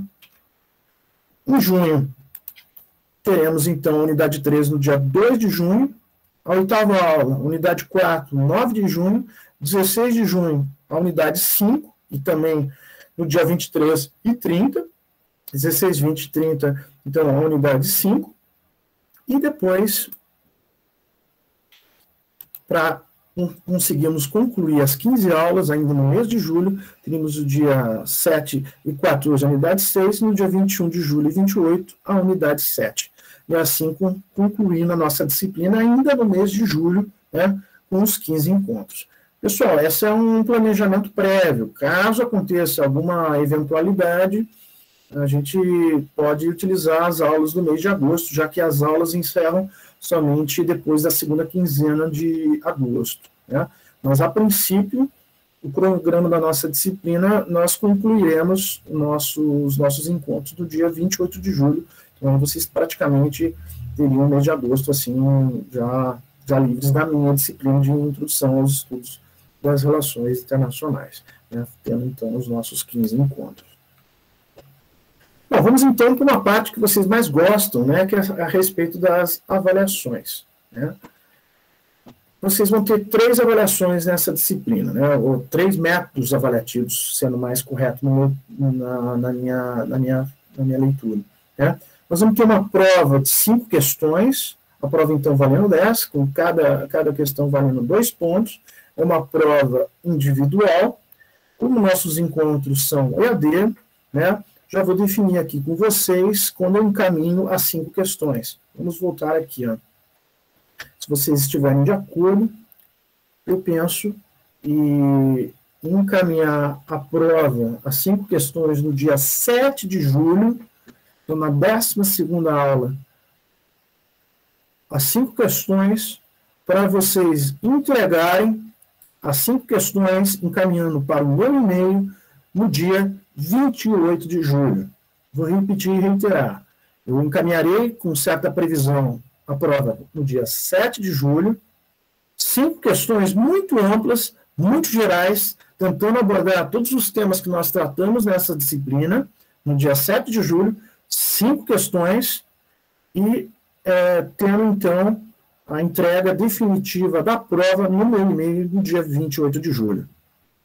Tudo bem, pessoal? Aqui o Pedro já disse ok, os dois Pedros já disseram ok. Acredito que então todos estejam, estejam de acordo. Eu vou aqui fechar essa apresentação para vocês darem uma olhada na minha prova, no modelo da minha prova, que eu também já tinha encaminhado por e-mail de vocês, para vocês terem uma ideia, mas eu vou modificar um pouquinho, mas é mais ou menos esse formato. Vou encerrar aqui a apresentação, a gente já volta depois a ver a apresentação para vocês terem uma olhada. Nós vamos agora, eu vou acessar o Moodle para vocês terem uma noção da, de como que são as minhas provas. Deixa eu acessar aqui o Moodle. Cadê o Moodle? Aqui. Só um minutinho, pessoal. Vamos ver se já está abrindo. Já consegue visualizar? Acredito que sim, né, pessoal? Aqui está o Moodle da nossa disciplina. Imagino que vocês já devem ter, ter consultado. Eu praticamente todos os dias vou estar inserindo novos materiais para vocês consultarem. Vamos dar uma olhadinha aqui no Moodle. Então, aqui a disciplina de Introdução aos Estudos das Relações Internacionais, aula número 1. A única coisa que eu consegui fazer é deixar claro aqui todas as aulas com os títulos das aulas, pelo menos isso já está tá muito bem feito. A aula número 1 já estou satisfeito, já deixei muito material, né, já deixei bastante material aqui, né, tá o plano de ensino, talvez eu tenha que refazê-lo, porque eu inseri novos materiais. A apostila 1, 2, 3 e 4 e 5 já tinha encaminhado para vocês, só que vocês não precisam entregar, mas é para vocês estudarem, tem uma forma de estudo é, que eu acho interessante, eu achei interessante disponibilizar esse tipo de, de material para vocês. Tá? É, aqui vai ter o Diário de Relações Internacionais, daqui a pouco a gente já vai conversar a respeito dele, e aqui tem outros, outros livros aqui clássicos para vocês acessarem, não só para a minha cadeira, mas para as demais disciplinas. Depois vocês baixem tudo isso aqui e terem no computador de vocês para depois vocês lerem e acessarem. Vamos dar uma olhada aqui na prova. Espero que vocês consigam visualizar. Ah, Vou ter que acessar de novo. Só um minutinho, pessoal. A sessão expirou. Deixa eu ver se vocês estão conseguindo visualizar. Consegue acessar? Conseguem visualizar? Sim? Sim, prof, tá tudo certo. Maravilha, Marina. Vamos dar uma olhada aqui, então, na prova. Ó, então aqui a prova, vocês estão vendo que é uma prova de História das Relações Internacionais da Guerra Fria, mas é só para vocês terem um modelo, né? É, aqui também está o nome das alunas que fizeram a prova naquela oportunidade, então o nome da, vai ter o nome da disciplina, o nome do professor, vai colocar o nome, vai, vai ser individual, vai ter o ano, semestre, né? Aí vai ter aqui, pessoal, vai ter o cabeçalho com, com o título da, da, da, disciplina, então vai ser prova de introdução ao estudo das relações internacionais. Eu vou deixar aqui de uma forma bastante didática pedagógica quais são os temas que foram discutidos. Vejo que aqui na Guerra Fria foram todos esses temas que foram discutidos. E aqui vai ter as instruções, pessoal. Vai estar lá, coloque o nome no local indicado, confira, vai ter só cinco questões dissertativas, evitar erros de língua portuguesa, a interpretação das questões é parte do processo de avaliação, e aí boa prova para todos e todas. Aí, pessoal, vai ser assim, ó. Vai ter aqui, então, as questões, né, vai ter a questão que vai ser bem geral, e aí vai ter, por exemplo, como esse aqui, esse exemplo, fundamente com os autores tratados na disciplina, vai ter o valor e a extensão máxima. Né? Então, aí eu sempre peço que vocês sigam religiosamente a extensão máxima de cada uma das das questões. Então, a, a, prova tem mais ou menos essa, essas peculiaridades, essa característica. A única, a única característica que vai ter nova, que eu vou colocar entre parênteses, é quais pontos que devem ser tratados na questão, que devem ser discutidos na questão, na resposta de todos vocês. Mas ficou claro, pessoal, como que é o modelo da minha prova? Bem simples, né? Vai estar lá os temas da prova, de como que é a formulação da prova, e temas bem amplos, bem, bem gerais sobre os temas que nós discutiremos. Tudo bem? Mais ou menos esse, então, o formato da, da nossa prova. Opa, cancelar. Vamos voltar, então, pessoal. É, vamos voltar para a apresentação lá. E aí a gente depois aqui vê o diário portfólio. Maravilha. Vamos olhar aqui a apresentação. Voltando.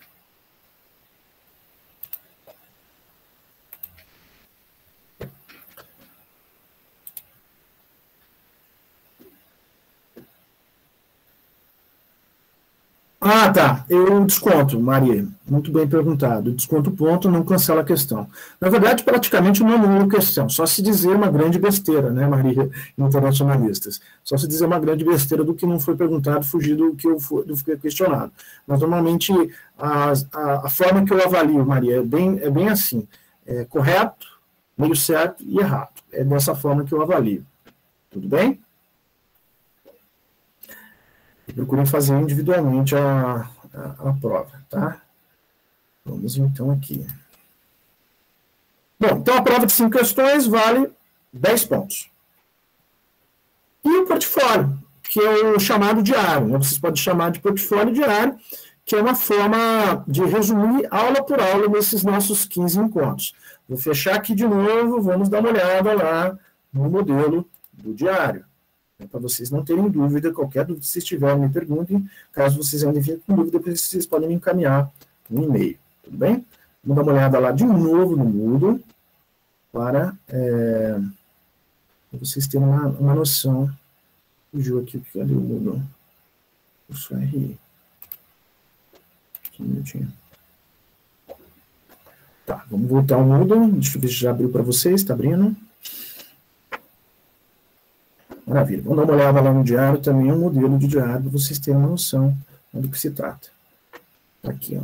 Estilo 5, prova diário de relações internacionais. Está abrindo, pessoal. Maravilha. Esse é o portfólio que é utilizado nas principais instituições estadunidenses, norte-americanas, na Inglaterra, na Unicamp também é utilizado esse portfólio, na Universidade de São Paulo também utilizado esse portfólio. Eu já utilizo com os alunos de relações internacionais já há algum tempo. Normalmente os alunos não gostam no princípio, depois eles gostam, porque é uma ferramenta de estudo, é uma forma de estar estudando semanalmente, mensalmente, a disciplina. Né? Então vamos dar uma olhada aqui no portfólio de um colega de vocês, de Relações Internacionais, então também foi de uma cadeira de História, ele foi muito criativo, utilizou aqui né, a Revolução Francesa, né?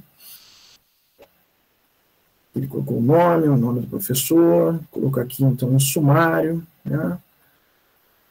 fez aqui o sumário com introdução, os conceitos, porque é um resumo de aula após aula, né? Ele, aqui ele, ele optou por temas. O Tiago optou por temas e não fez aula 1, aula 02 até a aula 15.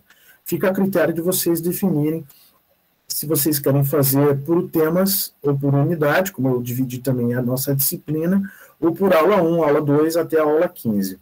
Que vocês vão entregar novamente. Ah, tá. Isso que também é uma questão também muito importante, né, pessoal? É, vocês vão me entregar o, o diário portfólio junto com a prova também no dia 28 de julho. Vocês vão encaminhar para o meu e-mail tanto a prova e o portfólio no dia 28 de julho. Mas aí a pergunta que vocês vão me fazer, então a aula, a aula 15 já não entra no diário, não entra no diário a aula 15, já que vocês vão entregar justamente na nossa última aula, no dia 28 de julho. Então, no diário entra até a aula 14, tudo bem? Entra até a aula 14. Vamos explicando aqui, qualquer dúvida vocês me perguntem. Então vai ter a introdução, que é necessária, a introdução, e aí o, o Tiago ele dividiu por temas, né? Então, nessa disciplina a gente tratou, ele fez aqui um, aqui, ó, vamos ler aqui. Portfólio é um método mundialmente famoso pela sua eficácia e ajuda na aprendizagem, utilizado na universidades de excelência como Harvard, ele escreveu dito errado. Oxford, USP, entre várias outras, e como objetivo a recapitulação das temáticas apresentadas em aula, assim como também auxiliar na repetição com fins de memorizar o conteúdo de História das Relações Internacionais. Ah, vocês vão estar utilizando a introdução ao estudo das relações internacionais. Aí ele faz aqui o agradecimento, né, que é um método de aprendizagem que incentiva a produção e que, embora a tarefa seja difícil e cansativa, trará bons frutos de conhecimentos. E aí ele começa, então, a tratar né, a cada um dos temas. Né? Aqui ele discute a questão dos conceitos, ele vai apresentando os conceitos, o que ele pesquisou, o que teve em aula, né? e ele vai apresentando aqui os conceitos que foram discutidos na disciplina de História das Relações Internacionais A. Todos esses conceitos nós vamos ver agora na introdução ao estudo das relações internacionais A. Aí, por exemplo, eu trouxe esse elemento, essa discussão sobre mecanismos psicológicos para o processo de informações. Ele também fez um resuminho do que foi tratado no dia do nosso encontro. Né? aqui todos os termos. Aí depois começamos a, discuss a discussão sobre o tema da ascensão do mundo ocidental, né? A partir da obra do Kennedy. Aqui, pessoal, que interessante, vocês podem também inserir imagens, quadros, tabelas, personagens históricos que foram citados. Fica a cargo de vocês fazer essa pesquisa em casa, né? E isso é muito interessante. Sempre, pessoal, colocando a fonte de onde vocês pesquisaram. Aqui ele foi colocando mais informações colocou o mapa, olha o mapa dele que bacana, né? inserindo informações sobre cada um desses impérios que foram discutidos, né? Caso europeu, inseriu mais aqui um mapa, mais texto, aí inseriu personagens históricos, né, que foram citados em aula, outros personagens que ele achou interessante pesquisar, que ele ficou curioso em estudar, por exemplo, Hideyoshi, e, e, aí ele foi inserindo Paul Michael Kennedy, que foi um autor que nós trabalhamos na disciplina de História das Relações Internacionais A. Eu citei nessa aula Thomas Hobbes, ele foi pesquisar a respeito do Thomas Hobbes. Citei também a Rainha Vitória, ele pesquisou a respeito da Rainha Vitória, inseriu uma imagem, né? E aí foi seguindo. Aí, pessoal, vamos dar um prosseguimento aqui, né? Vou lá para o final.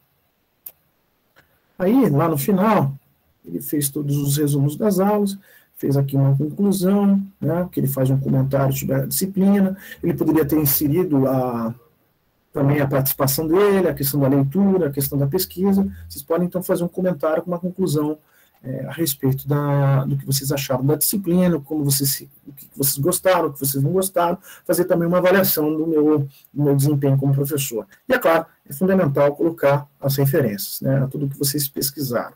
Né. Meus caros alunos, entra também, Pedro, entra também. É, o que, que, é a minha dica que eu faço, que eu sempre sugiro para todos os alunos de todos os semestres, quando eu leciono e insiro essa, essa, essa metodologia de aprendizagem, esse instrumento de aprendizagem, instrumento de avaliação. Comecem desde sempre, não deixem para o final, não deixem acumular ah, as nossas conversas, as nossas aulas, as pesquisas que vocês farão ao longo da disciplina. O ideal é ter disciplina, o ideal é ter disciplina, então fazer toda semana um pouquinho né, para que depois no final fazer uma revisão final, para depois entregar, encaminhar para o meu e-mail. Tudo bem, Pedro? Então já começa a contar hoje já a primeira aula, a aula de apresentação, né, com uma primeira unidade, Pedro, internacionalistas.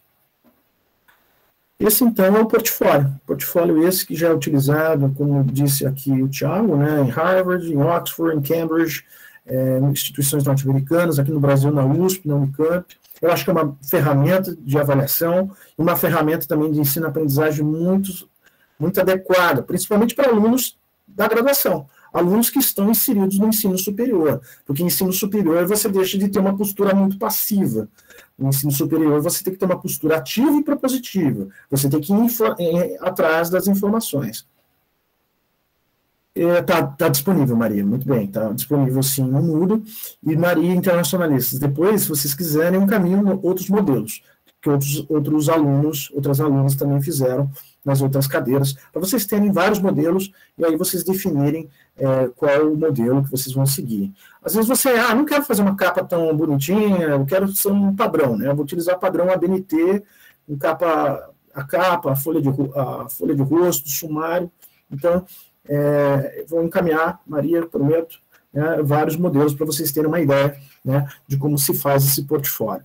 Mas Maria, Clara, Maria Fernanda, internacionalistas, o ideal é vocês já começarem desde hoje, não querem hoje, né, mas já semana que vem já começar a fazer o sumário, já ter uma capa, uma folha de rosto, preste atenção de não colocar o meu nome, né, o nome de vocês, já vários diários, chegou o final do semestre, depois de três, quatro meses, o aluno entrega com o meu nome, né, eu sou professor e eu faço ainda o portfólio, né? Então é bom sempre se policiar em relação a esses erros, né?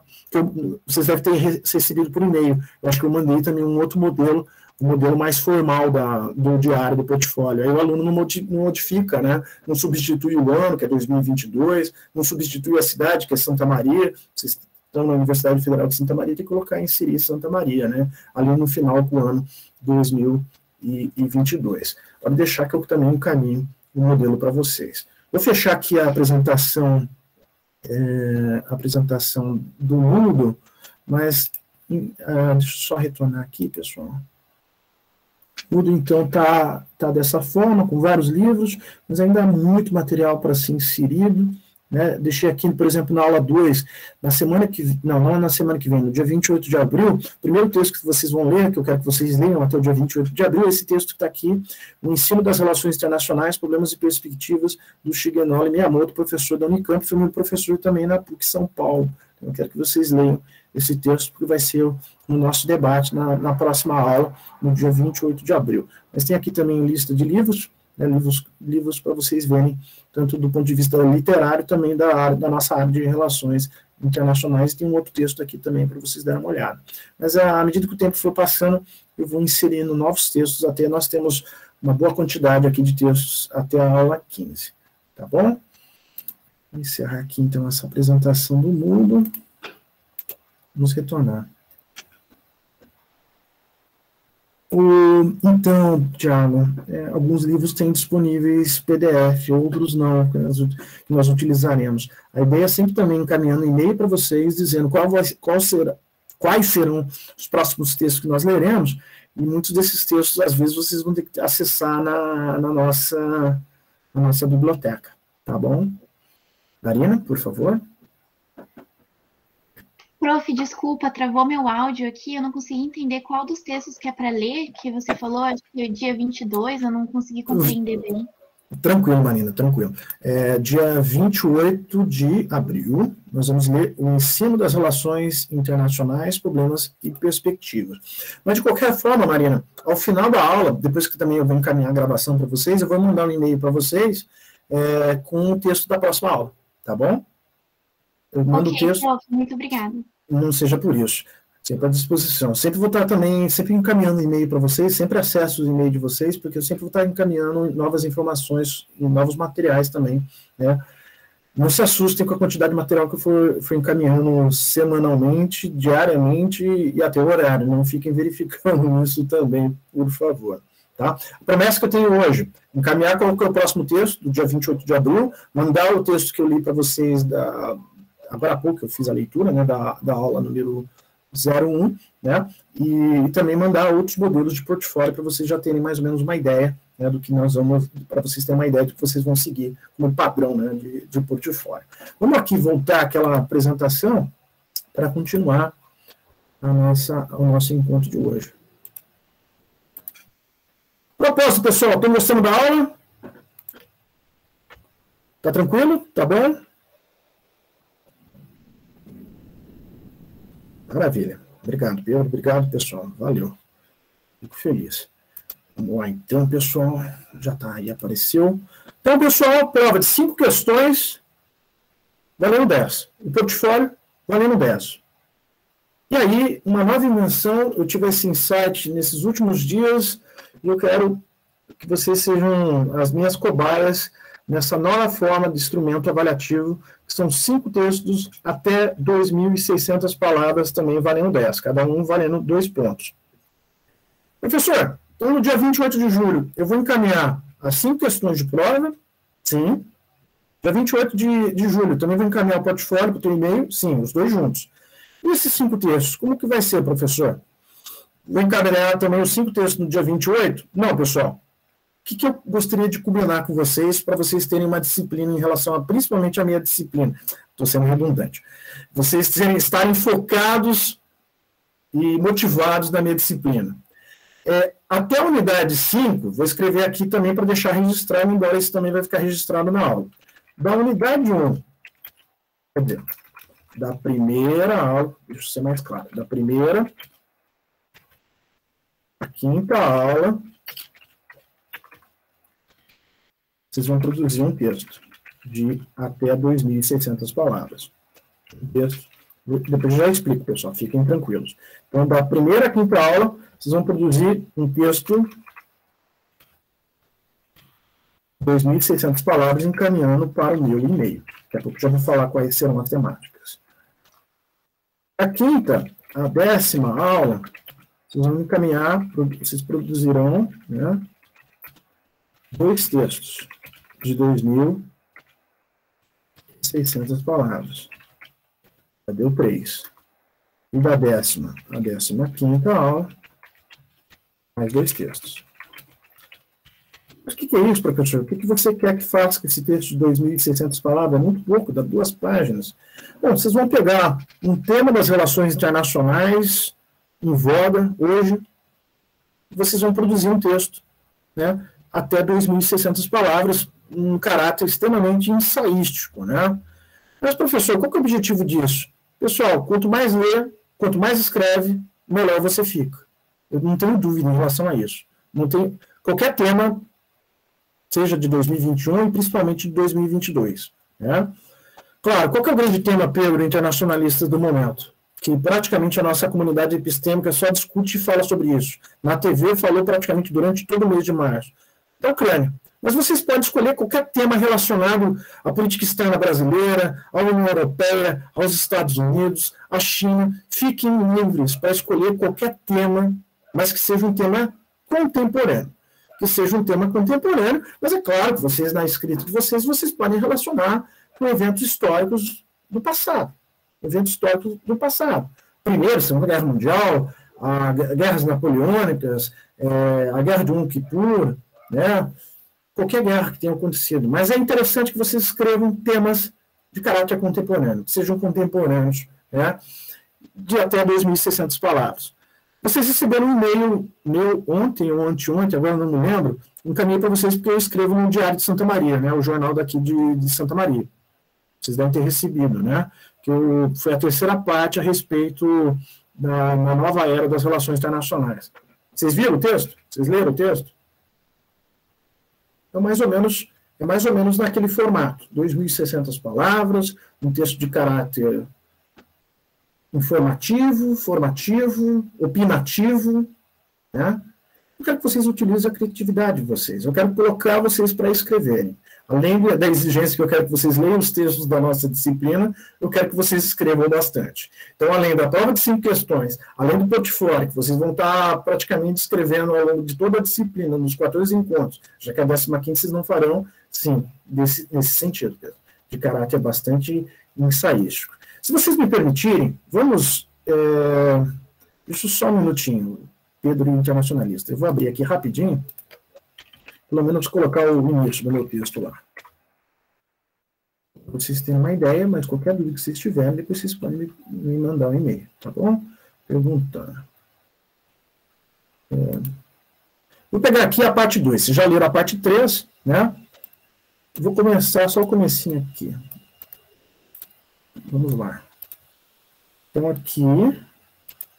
Então, aqui coloquei o título. Vocês vão colocar um título, né? Para o que vocês vão definir, né? E aí vem lá, o que, que eu escrevi na parte 2. Depois, se vocês quiserem, eu posso encaminhar essa parte 2 depois a parte 1. Um, né? Para que vocês não, não, não fiquem constrangidos de ficar encaminhando coisas minhas, né?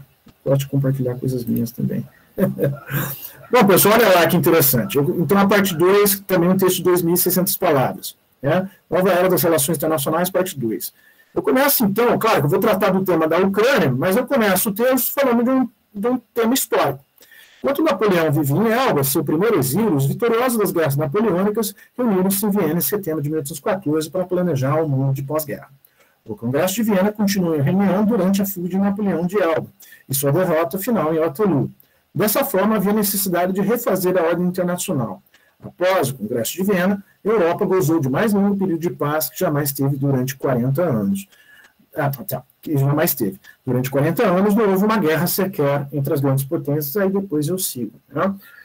Se vocês quiserem, eu posso encaminhar esse texto também, para vocês terem uma, uma ideia, né, modelos, é, em relação a, a, esse exercício, essa avaliação que eu quero que vocês façam. Tá, pessoal? Então, as três, os três instrumentos avaliativos da minha cadeira, valendo, vai dar, então, 30, né, dividido por 3, né? É interessante que vocês façam todas as questões, tanto as provas quanto o portfólio, e principalmente esses cinco textos, cinco textos cada um vale dois pontinhos, tá? Essas 2.600 palavras. Repetindo, pessoal, da aula 1 a 5, um texto, encaminho para o meu e-mail, da aula 5 a 10, dois textos, e da aula, da aula 10 a 15, mais dois textos. Dá para dividir bem a, questão da produção desses textos. Pessoal, é, vocês fazendo uso de fonte né, é, bibliográfica, colocar ao final do texto, de onde que vocês tiraram né, as citações, as partes que vocês inseriram no texto de vocês. Mas são, como disse aqui o nosso colega, texto de caráter ensaístico, texto de caráter informativo, texto de caráter opinativo. Tudo bem? Acharam interessante esse instrumento de avaliação, até para vocês também colocarem um pouquinho da, da opinião de vocês, a visão de vocês em relação às relações internacionais. E Pedro e Marina, obrigado por terem gostado. O que, que eu acho interessante? Talvez já provocou um pouquinho vocês, principalmente a questão daquela pergunta que eu fiz. Por que, que a guerra acompanha a história da humanidade? Né? A questão dos cenários geoestratégicos seria um bom tema para vocês, talvez, escreverem, colocar 2.600 palavras é, a respeito dos três cenários geoestratégicos, definir qual cenário geoestratégico é o mais adequado para as relações internacionais. Então, é uma forma de vocês também colocarem as suas palavras, a sua visão a respeito disso que eu acabei de falar, mas é claro, é uma, uma sugestão de tema, é uma sugestão temática para vocês pensarem da aula 1 à aula 5, tá bom? Muito bem, vamos prosseguir mais um pouquinho, pessoal. 15 horas e 27 minutos. Esses são os três, três instrumentos avaliativos. Vamos aqui, então, definir como que vai ser, a, mais ou menos, obrigado, Yuri, muito bom, vai ser legal vocês fazerem isso, já praticando, né, Yuri? Praticando a escrita, a leitura, né? É uma forma, acho muito interessante, já desde o início, desde o princípio da, do curso, você já fazendo exercícios de, dessa natureza, desse tipo, né? Bom, pessoal, as nossas aulas, como vocês acabaram de perceber, são aulas expositivas, são aulas dialogadas, eu quero que vocês participem bastante, dialoguem bastante, eu acho que nós vamos ter que ampliar o tempo de aula, né? Já senti isso já no primeiro dia de aula, isso é muito bom, isso é muito positivo, né? Porque já que a nossa aula é AD, eu quero que vocês também participem, se engajem bastante, se motivem bastante na, na nossa aula. Vocês já perceberam, eu faço muitas questões provocativas, eu faço muitas, muitos questionamentos, né? eu tento estimular muito a questão da dúvida. Porque universidade, ensino superior, não é questão de criar dogmas, certezas. Na verdade, é estimular dúvidas, criar dúvidas, estabelecer incertezas de pensamento. E esse é o meu propósito nos nossos encontros, nesses 15 encontros, gerar sempre provocações, estimular debate, estimular reflexão, estimular bastante provocação em relação aos temas que nós, nós teremos ao longo da, da, nossa, da nossa disciplina. Vocês vão perceber que muitas vezes eu não vou me posicionar a favor de X ou Y. Eu posso até falar, não, talvez isso seja mais adequado, mas eu sempre vou estar é, não querendo aqui criar o, plano, o, que é, o jogo da discórdia, né, lá Big Brother, mas é sempre tentando instigá-los a pensar, a refletir em relação a essas minhas provocações. Sempre no início de aula, eu faço uma leitura de um texto de minha autoria para gerar uma provocação para o início da nossa, da nossa aula. Né? Isso vai ser sempre feito na, nos nossos encontros. Vocês vão perceber também que uma outra peculiaridade da minha, da minha, a minha característica como professor é sempre estar dialogando com outros campos de saber, sim, sociologia, antropologia, política, e um outro instrumento que eu tenho utilizado muito nas últimas disciplinas, principalmente com seus alunos, os seus colegas veteranos, a questão da psicologia. Eu gosto de utilizar muito a psicologia também nas relações internacionais. Vocês vão perceber isso também em alguns dos nossos encontros na nossa, na nossa, na nossa disciplina de introdução aos estudos das relações internacionais. O que, que é isso aí, professor, esse negócio de estudos da NASA? O que, que você quer dizer com isso? Pessoal, eu vi um estudo da NASA muito interessante, ele diz que as pessoas, a maior parte das pessoas, a maioria das pessoas só aprendem sobre línguas ou qualquer outra coisa no nosso, na nossa vivência, na nossa experiência né, humana, através de três instrumentos. Primeiro, a motivação, vou colocar aqui. Segundo elemento, para você aprender sobre qualquer coisa, o interesse. E o terceiro elemento, a repetição. O que diz esse estudo da NASA? Uma pessoa, então, para aprender sobre uma determinada coisa, ela precisa estar motivada, muito motivada para aprender sobre aquele determinado assunto, sobre aquele determinado tema. Ela tem que estar interessada. E o terceiro elemento, que o estudo da NASA diz, é a respeito da repetição. Quanto mais eu repito, melhor eu fico. Foi isso que eu quis dizer também em relação à escrita e à leitura. Quanto mais eu leio, eu leio mais rápido. Quanto mais eu escrevo, melhor eu escrevo.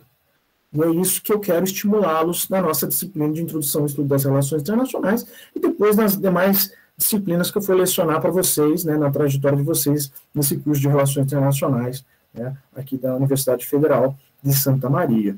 Então, o estudo da análise é, é uma forma também que eu gosto de utilizar no ensino e aprendizagem. Né?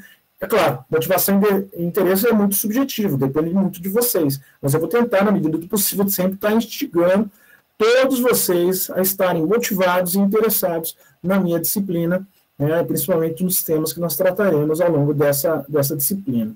E a questão da repetição, nesse estudo da é interessante, que eles dizem o seguinte, quanto mais a pessoa é capacitada, mais hábil, ela aprende mais rápido, com menor número de repetições. Às vezes a pessoa talvez não esteja tão interessada e motivada, ela vai, ela vai depender de maior número de repetições. Né? E esse é um estudo bastante interessante que eu gostei muito né, de, de ler, né, principalmente em relação à questão neurolinguística, é, neuropedagógica também, né? E esses são três instrumentos que eu acho que são interessantes, formidáveis para a gente perceber de como que é esse processo de ensino e principalmente de aprendizagem, né? Então, só para enfatizar, os materiais didáticos serão disponibilizados no ambiente mudo, eu acrescentaria, né, não está aí escrito, mas também vou encaminhando para o e-mail de vocês, constituindo-se de vídeos, artigos e outros indicados pelo professor.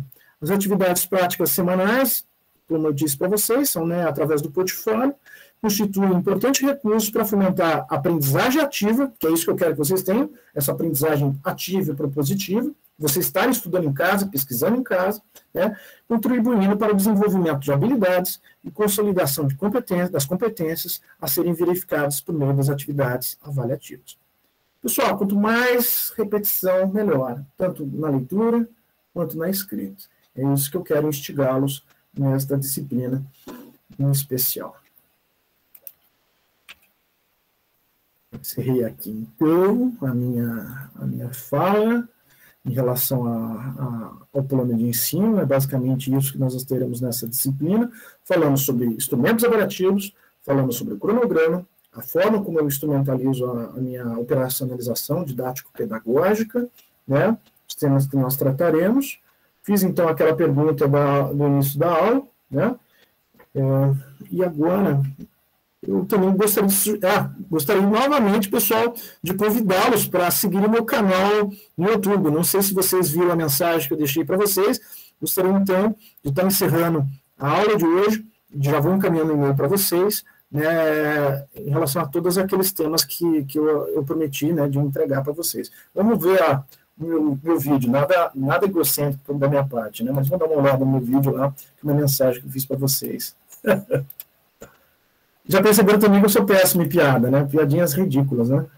Trocadilhos ridículos. Mas vamos dar uma olhadinha aqui no vídeo que eu fiz para vocês, com o um sorrisão aqui, bonitinho. E aí vocês vão ver. Vamos lá. Tudo bem? Tudo tranquilo? Uma mensagem que eu dedico em especial aos calouros do curso de Relações Internacionais da Universidade Federal de Santa Maria. Não podemos esquecer que há alguns predicados gerais dos intelectuais, curiosidade, inquietação, inconformismo, disciplina criativa, independência de julgamento, honestidade científica e etc. Outros próprios ao ramo das relações internacionais, gosto pelas relações interculturais, aceitação do outro, do diferente, humanismo exacerbado, aptidão ao aprendizado de idiomas, paixão pela geografia em todos os seus aspectos, física, econômica e humana, e considerar que o mundo é sua casa e que antes de sermos nacionais, somos parte do gênero humano. É sobre esse alicerce que deve ser construída uma formação sólida, que permita ao internacionalista não ser somente um ser adaptado ao mundo, mas ser um ator capaz de participar da construção desse mundo. É isso aí, uma excelente semana para todos nós.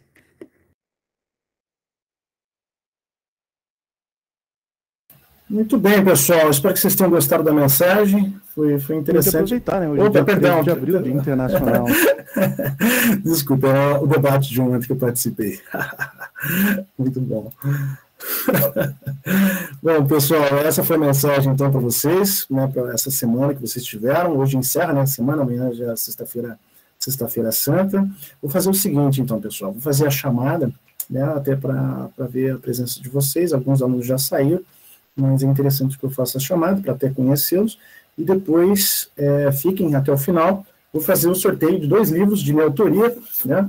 É, a Tragédia da Política Relações Internacionais, foi um livro que eu organizei, né? E é interessante que esse livro, que espero que seja uma série de, de, de, de, de textos, de, de livros, né, a respeito de grandes personagens da história das relações internacionais.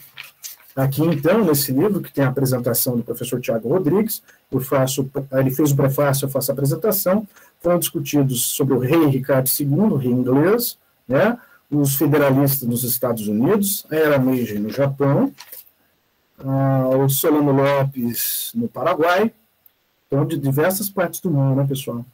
O Mohamed Ali no Egito e o José Bonifácio no Brasil. Tá? Então, vão ser dois livros de minha autoria, organização minha, com participação de vários autores, né?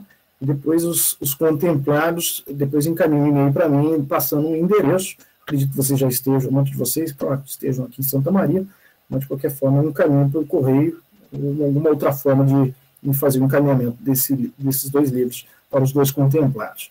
Tá bom, pessoal? Então vamos lá, a chamada. Deixa eu ver se eu deixei aberto até.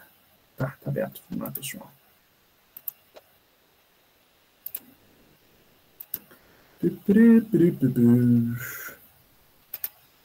Um minutinho. A fotinho de vocês. Vamos lá. Ah, tem que fazer aqui, pessoal. Só um, só um minutinho. Vocês vão ver eu fazendo isso aqui. Vamos lá. Nova. Brecho. Só um minutinho, pessoal.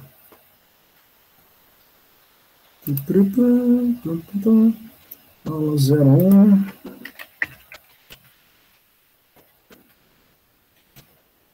Apresentação. Conseguindo visualizar, né, pessoal? Vamos lá, então. Vamos começar aqui. Vamos à primeira aluna. Alice.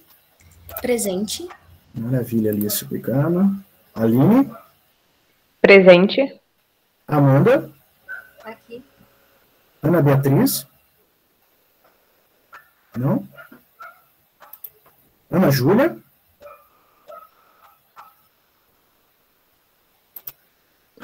Professor. Pois não. É, é a Anaís, é porque meu nome nunca escreve com acento nos sistemas, aí eu só pra te falar como é que fala. E eu tô presente. Ah, tá. Anaís. Isso. Tá, perfeito. Obrigado, Anaís. Anaís. Anitta. Presente. Arthur. Opa, opa, eu. Maravilha. Bernardo. Presente. Bianca. Presente. Carolina.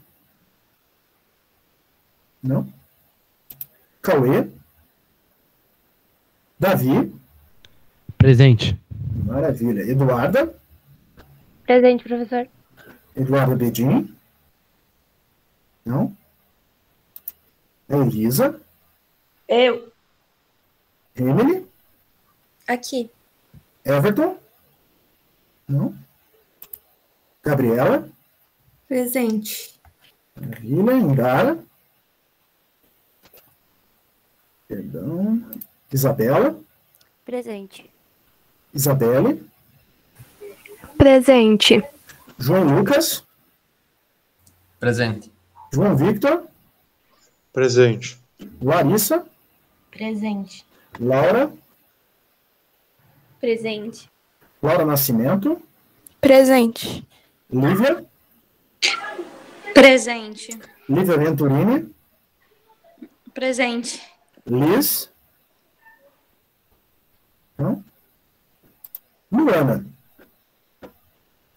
Não? Lucas. Lucas Bernardi.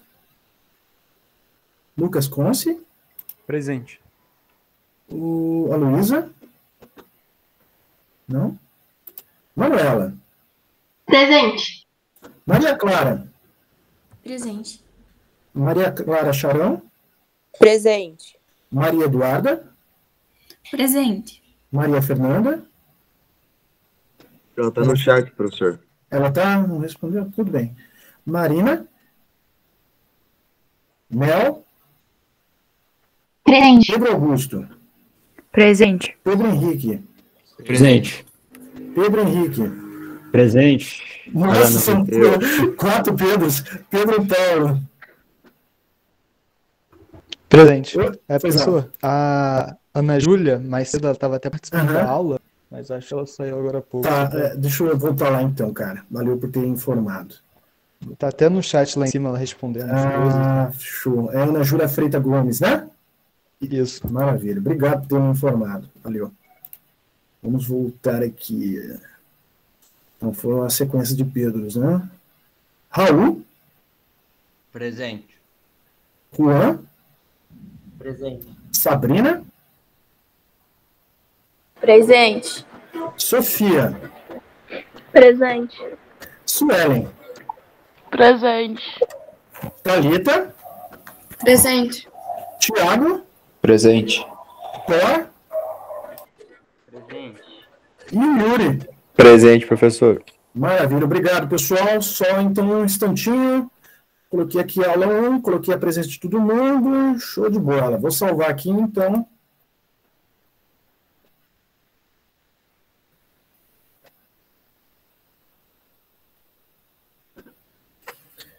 Manivela tocando.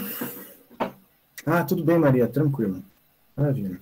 Eu dei presença, Maria, ou não? Então depois eu vou ter que rever. Ah, sim. Deu. Show. Vou fechar aqui a apresentação. Bom, vamos então ao sorteio e encerramos o nosso encontro de hoje. Espero que vocês tenham gostado da disciplina, do nosso primeiro encontro. Semana que vem, então, já encaminho para vocês, já hoje, né? Já vou encaminhar para vocês tanto a gravação, já vou deixar disponível também a gravação no meu canal, e depois eu faço tudo isso aí que eu tinha prometido para vocês. Bom, então, meu emprotei aqui, vou abrir, tem os papeizinhos de vocês, os 53 alunos, vou sortear, então, a primeira pessoa aqui. Ai, por que, que eu fechei? Né, cabeçudo? 45. 45. Vamos lá, então. Vou ter que abrir de novo a, a chamada para ver quem que é o 45. Deixa eu abrir aqui de novo para vocês verem, né? Cabeçudo. Vamos lá, só um minutinho. Portal do professor. Só um minutinho.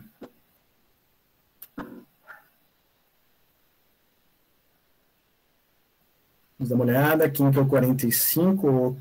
É o Pedro Paulo Carreiro Zequinelli. Está presente? Toda a minha sorte desse ano já foi embora só nesse sorteio. Maravilha, Pedro. Parabéns. Depois eu. É, deixa eu anotar aqui, né, para não esquecer. Valeu, professor. Só um minutinho. Depois me encaminhe e-mail lá passando o endereço, tá bom, cara? Beleza, beleza. Maravilha, só um minutinho. Deixa eu anotar seu nome aqui para não, não mandar para o Pedro errado. O Pedro, Pedro Paulo, né? Isso. Pedro Paulo. Depois eu faço uma dedicatória também, tá bom, querido? Pedro eu agradeço, professor. Pedro Paulo. Vamos então agora para a segunda, a segunda sorteada. É a pessoa com o número, nossa, lá no final, 51, boa ideia. 51, a Thalita Nascimento. Ela está presente? Sim. Maravilha, Thalitas. Parabéns. Obrigada. Então, também vou fazer a dedicatória para você, depois encaminho para o meu e-mail, né? O tá bom, obrigada. encaminho para vocês. Foram os primeiros, então, contemplados no, dos dois livros aí, A Tragédia da Política. Depois, quando tiverem, depois de, ver, de fizerem a leitura, né, quando tiverem tempo de fazer a leitura, depois vocês dão um feedback que vocês acharam, tá bom? Thalita e Pedro. Vou fechar aqui, então apresentação. Sim, pode deixar, vou fazer bastante. Terão, teremos bastante sorteios ao longo do, do semestre letivo. o Pedro aqui, pessoal. Pessoal, gostei demais da aula, do nosso encontro. Foi muito legal esse nosso primeiro encontro, essa, primeira, essa nossa primeira aula. É, as, as, nossas próximas aulas serão um pouco mais longas, né? É pedrofobia. é, gostei demais. A gente se vê, então, somente agora no dia 28, daqui a 14 dias, né, a gente conversa, tá bom? E é isso aí, então, pessoal. Obrigado. Até semana que vem, vou encerrar aqui a gravação, até semana que vem, daqui a duas semanas, e a gente conversa, tá bom? Valeu pela aula aí. Espero que vocês se mantenham motivados, entusiasmados aí pelo curso, pela disciplina. Já encerrando a gravação. Valeu. Obrigado, pessoal. Aproveitem.